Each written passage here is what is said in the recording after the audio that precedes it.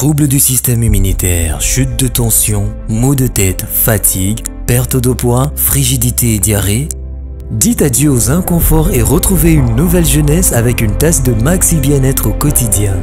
Une solution bio composée de plantes traditionnelles, 100% naturelle et reconnue pour sa vertu. Une formule adaptée pour hommes et femmes. Depuis plus de 10 ans, le Maxi Bien-être Café renforce le système immunitaire, restaure la fatigue physique, améliore le sommeil, aide à stabiliser la tension et la glycémie, nettoie les reins, soulage l'hémorroïde et la constipation. Chez les hommes, le Maxi Bien-être restaure le dysfonctionnement sexuel, l'impuissance et l'éjaculation précoce. Là, expliquer lingala pour vous comprendre. la problème, il y a constipation,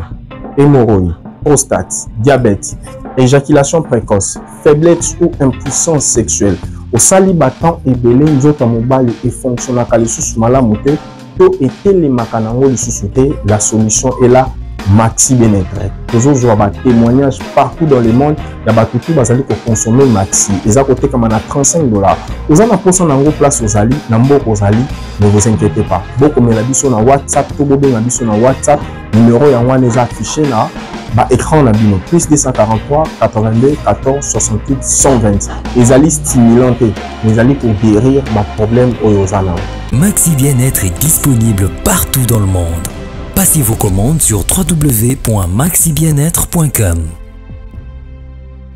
Mbote na bana mboka nyonso bozali kolanda nga depuis partout aux quatre coins du monde. Quant à moi, je vous dis, soyez le bienvenu na chaîne Nabino Bonaka Mingi, Top Info 24 TV, la chaîne d'information, la chaîne des investigations, la chaîne du peuple, où informaka peuple na makamutu, ezali koleka na kati ya République démocratique du Congo, 24 heures sur 24 heures. Encore une fois de plus, soyez le bienvenu na magazine Nabino, ba verita mboka Congo qui vous est toujours présenté par votre humble serviteur le chef Mukwa ya Jonathan bandeko balandi lelo tomemeli bino lisusu nini ba révélation nini tomemeli bino mokolo ya lelo yango nazosenga na batata na bamama bilenge bino bato nyonso bozolanda nga en ce moment bandeko bozala très attentif na émission na bino mokolo ya lelo po ete ba révélation sur révélation premier sujet tokobetela bino na mokolo ya lelo sept sept présumé collaborateur ya ba m23 bravo na ba service de sécurité ya république démocratique du congo bauti kokanga 7 présumé collaborateur ya ba m23 kala te bazopresente bango bazolakisa bango na télévision armée ezopresente bango bakangi bango ndenge nini nini babandaki kosala barévélation eza awa makambo nini babandaki kosala bakangi bango wapi tokoyebisa bino premier sujet oyo tokobeta joseph kabila se fini pour joseph kabila kote oyo mokonzi ya mboka asali reforme na aner kote oyo badelegation ya, ya, ya, ya, ya cpi nini eza koleka barevelation nini eza awa deuxième point tokobeta tokokende na bino point sur point malemi malemi yango bozala très attentif na émission na bino mokolo lelo avant nakota na barevelation na nga yo moto ozolanda yango oza na problème ya constipation hémorroïde prostate diabète éjaculation précoce faiblesse ou impuissance sexuelle nzoto ya mobali etelemaka lisusu te etelemaka lisusu malamu te efonctionnaka lisusu malamu te efonctionnaka lisusu te publicité bowuti kolanda eza publicité ya maxi bien être un produit tellement efficace tozali kozwela yango batémoignage bato tu bazali kokonsome yango yo moto ti siko peut-être oza na baduti omeki bakisi baproduit mosusu eza kosimba te je vous dis okozala prochain moto ya kotémoigne maxi bien-être eza vraiment efficace toa na batémoignage eza kotekama na 35 dollars oza na mposa na yango numero yango wana eza affiché na bar écran komela biso na whatsapp baappel normal toyambaka vraiment na mpasi mais so okomi na whatsapp soit obengi na whatsapp toyambi yo te otiki message na whatsapp tokooriente yo ndenge nini okoki kozwa produit maxi bien-être place na mboka oyo ozali en tout cas okozala prochain mutu ya kozala satisfait toza mpe na miel hein? avant tokota bopermettre nga toza mpe na miel nana bio miel ezali miel euti équateur ezali miel moko pure euti équateur boye eza kotekama na 10 dollars ya pamba 10 dollars ya pamba eza miel moko pure oza na mposa na yango komela biso na whatsapp ndenge kaka nzoi abimisi ndenge kaka batyango na kati donc oza na mposa nango okomeli biso mpe na whatsapp tokola coriento ndenge nini okoki kozwa miel nana biomiel miel moko euti équateur eza pure alors avant nabanda premier sujet na nga avant nakota na barévélation na nga bolanda nanu nomination oyo mokonzi ya mboka asali na kati ya aner et puis on se retrouve tout juste après kolanda nomination oyo mokonzi ya mboka pourquoi mokonzi ya mboka asali kaka nomination na aner na minute oyo toza koloba barevelation ezali bolanda considérons la nécessité de créer au sein de l'Agence nationale de renseignement un département d'intelligence économique et financière euh, pour euh, permettre sa participation active à la réalisation de la croissance économique euh, pour le développement intégral du pays, vu l'urgence, ordonne. Article 1er, il est créé au sein de l'Agence nationale euh, de renseignement, un quatrième département dénommé département d'intelligence économique et financière, DIEF en sigle. Article 2, le département d'intelligence économique et financière a pour assignation notamment la recherche, l'investigation, l'enquête, la collecte, euh, l'exploitation, l'interprétation, la diffusion et les suivi des renseignements économiques, financiers, euh, numériques et technologiques intéressant la sûreté de l'État, tant sur le plan euh, national qu'international, ainsi que la vérification, la contre-vérification et le contrôle de gestion de l'utilisation des deniers publics. Voilà. pourquoi mokonzi ya mboka asali asali nomination na aner tobandi d'abord na situation sécuritaire de l'est de la république bandeko l'objectif de kagame bino bato bolandi discours ya kagame l'objectif ya kagame ezali babutembo basake goma bagrande ville ezala tombe paul kagame mokolo ya investiture na ye azali kosala discours azali koloba ke mpo na biso rwanda sécurité mpe na baregion ba na biso eza eloko moko très importante me makambo eza kolekana na este mpe ezali kodépendre na bakongole ntango paul kagame aza koloba bongo cela veut dire azoloba ke solution facile ya koobtenir mpe boya na minduki te boya kaka tosolola na dialogue eloko nini lorenzo président angola asololi na son excellence félix tshisekedi tokobetela bino masolo tozokende point sur point baproposition nini kagame ayebisi lorenzo ayebisa son excellence félix tshisekedi toke na bino point par point yango amoni bravo na service de renseignement militaire mosala basali service de renseignement ezwi information ke adef oyo na beni na butembu butembo adef oyo eza kotungisa bakongole na beni baza susu adef baye kokwar te adef wana bazwi mbongo epa kagame kagame apesi bango bamillion je vous parle kagame apesi ba adf wana 60 million mpo bayamba barwande na kati ya adf baluka moye nini bakokweisa ville ya beni service de renseignement ezwi bainformation ke kagame asombi ba adf elonga adf ekoma m23 me batika kaka kombo na bango ba adf barwandais deja baza na kati ya, ya adf wana service de renseignement ezwaki bainformation service de renseignement eke plus loin aye ko koidentifie barecruter barecruteur baoyo bazosala bazorecrute bato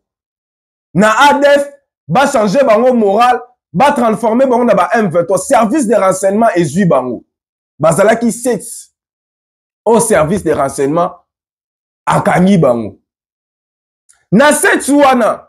na barevelation oyo service de sécurité ezalaki na yango na makambo balobi makambo nini balobi toke na bino point sur point yango omoni fardc armé ecomprendre ke updf oyo ekokombatre lisusu ba adf te ndenge tobaya kopense bakombatre ba adf awa ba m23 basinfiltre na adf qu'est ce qu'il faut faire yango omoni bapermettre bawazalendo pour la première fois bapermettre bawazalendo babanda mpe kobunda na beni babanda mpe kobunda na beni bakotisi mpe bawazalendo na butembo basekirize tactique calcul plan stratégie ya paul kagame ezalaki ba adf wana aarme bango lisusu apesa bango balogistique apesa bango mbongo baatake baposition ba, ya fardc na beni mpo ete bakweyisa ville ya beni sept présumé recruteur collaborateur oyo bauti okanga na ville ya beni balobi nini bazwaki deja mbongo quelque m23 bazo se prépare baya bazoluka moyen nini bakokotela epuis balobaki ke bakoutilize un grand commerçant un opérateur économique na ville ya beni na bamarchandise nde batya minduki na kati bayeba ndenge nini bakokotisa yango na beni mpo na ba m23 oyo bazoya barwandais na baugandais oyo bazoya na biso ba adf tosangana tozwa minduki wana toatake baposition ya fardc wana barevelation ebimi koto mpe service de renseignement militaire azosala mosala deja azwaki bainformation wana depuis kala ke adf eza ndenge baninga je baninga basala na katanga na bakatakatanga bayebi ke bakatakatanga baexistaka na kati ya bakatakatanga wana tokotisa barwandais tokotisa basoudanais du sud tokotisa baougandais na bakenien bakota na kati siko baatake katanga bapelisa moto na katanga mpo barekipere katanga bakata katanga meme stratégie balingaki bamema yango na beni na beni ba adf bazalaka baexistaka siko tokotisa sikoyo bainfiltre barwandais na baugandais na kati ya adf totindela bango minduki baatake beni bakweyisa beni ntango service de renseignement azwi information bravo vraiment na service de renseignement mosala bazosala ntango bazwi information babandi mosala bakangi 7 collaborateur 42 babomi bango ezalaki enfrontement na kati 42 babomi bango nakokanga sete wana sete wana babimisi barevelation oyo nauti koyebisa bino mbala moko arme esali appel na bawazalendo me batiki te bawazalendo base deploye bongo na beni armée a identifié tous les wazalendo oyo ba déployer bango na Beni, ba identifier bango, ba yebi bango très bien. Oyo akobima oyo naza wazalendo bakangi ye. Bake batali na identification aza te nzoka aza munguna babomi ye mbala moko. Grand objectif ya Kagame ndenge seselefe ya lwanda ezali lorenzo asololi na mokonzi ya mboka tshisekedi baza na séance de travail lorenzo akosuka kaka awa na congo te mpo baproposition nyonso oyo lorenzo amemeli mokonzi ya mboka mokonzi ya mboka la plupart aboyi yango oyo te nde bananga baza bongo eh, toza na mposa justice congolaise elongola makambo bacondamnation nyonso eza sur bango bazongela vie normale na kati ya armée congolaise ba m23 mpe bazala babiloko wana mokonzi ya mboka boyi baproposition ebele lorenzo amemi so mokonzi ya mboka ya angola akolonga kinshasa akokende mpe kigali so awa sesele fez awa koto oyo séance de travail lorenzo président angola aza kosala kuna na table ya négociation soki mokonzi ya mboka ndimi kagame aza na mposa akweyisa d'abord bagrande ville akende table de négociation pas na position faiblesse mais na une forte position kote oyo mpe mokonzi ya mboka alobi mpe na président lorenzo ngai avant nakutana na kagame tosolola naza no na mposa kagame aretire bambwa na ye na est de la république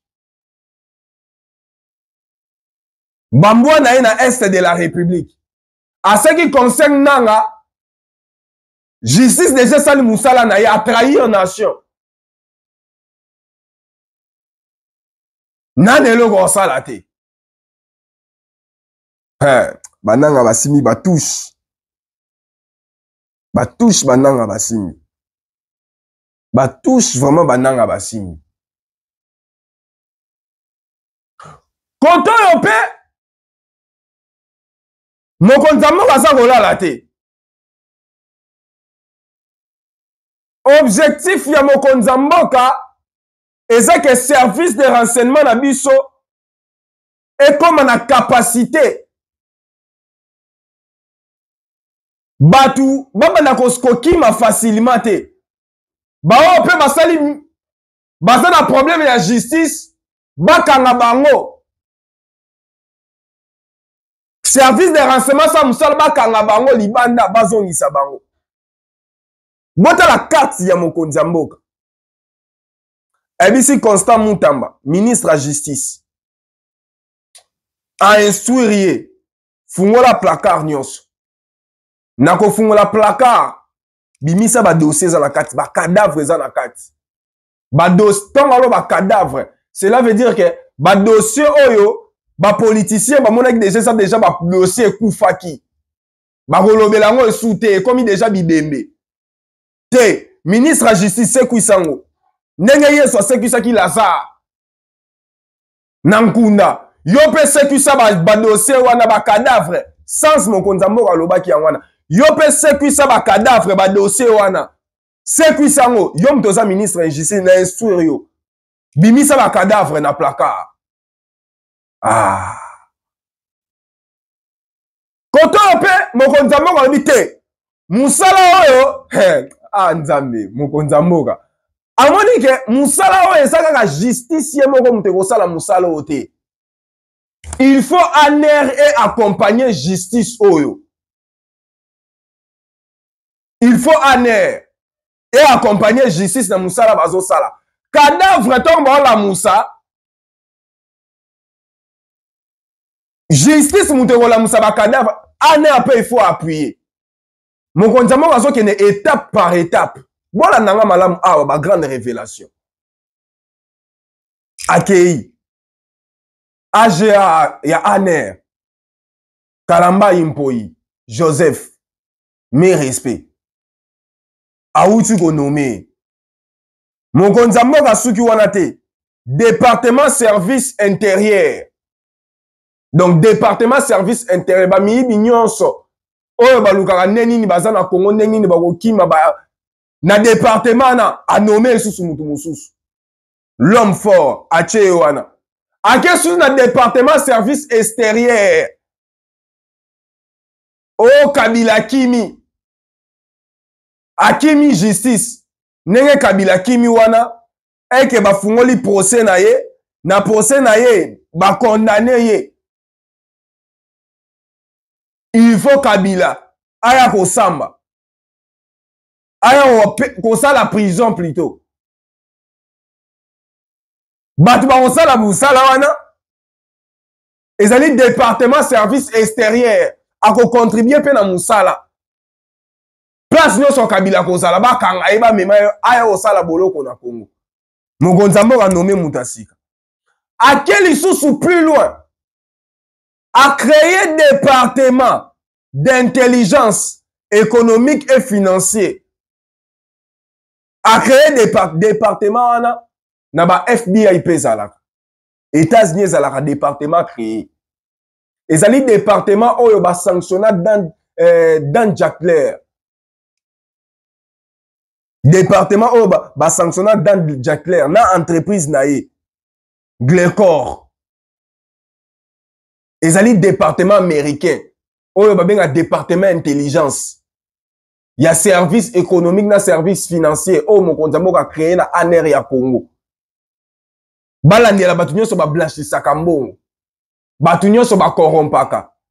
badetourner eza kaka justice moto ekosala mosala wana te bozomona place tozokende justice moto ekosala mosala na te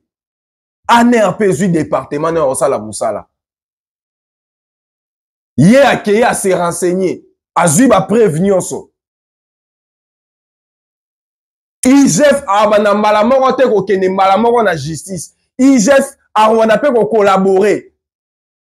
na departement wana service intelligent économique et financière bazwi bapreuve nyonso bango nde sikoyo bakomema bapreuve nyonso na justice pourkui mokonzi ya mboka asali bongo tomoni makambo ya carte d'identité famille kabila ezwa mbongo ya carte d'identité ba millions de dollars basala ba carte d'identité te bakenda batonga immeuble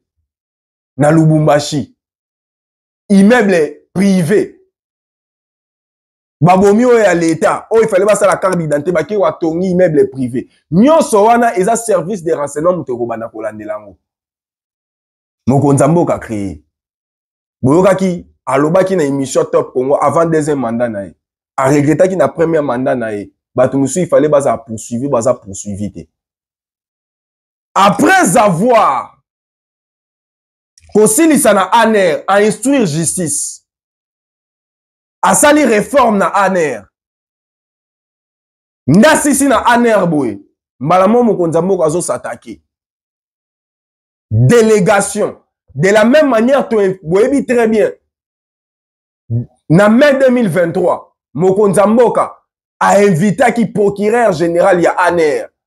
procureur général ya aner ayaki awa basolaki na mokonzi ya mboka mokonzi ya mboka asengaki ye bainitie processus ya baankete ya bato nyonso batya congo par terre batangisa makila aner azwaki bainformation nyonso deja awa sikoyo officiellement delegation ya aner ezoya na mikolo ezoya tala nazokende ake awa ainstruire justice bimisa placard fungola placard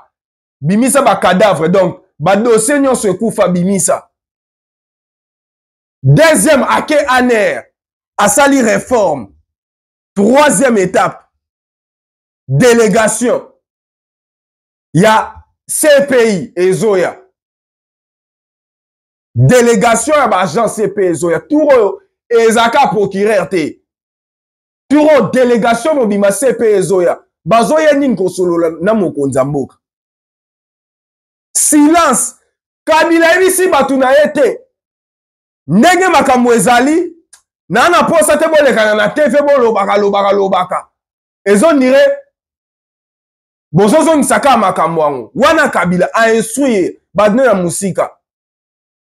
abi te bogarde silence yango omoni mikolo oyo famille politique na famille biologique ya kabila silence baloba esu te baapprendre ke mokonzi ya mboka ako, na bajour ezoya akoyamba une délégation ya, ya cpi bakoya mpo na nini